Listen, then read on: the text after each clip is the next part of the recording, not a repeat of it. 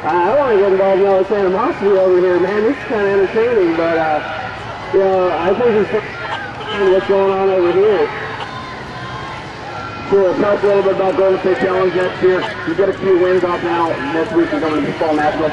Yeah, we'll do a fall nationals next year, and then we'll go from there. And we'll, uh, we're going to have a little bit of fun and just see what goes on.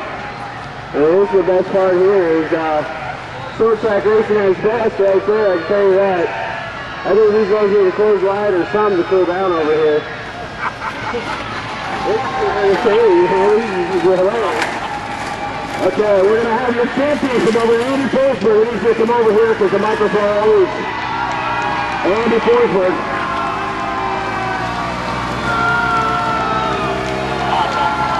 Andy.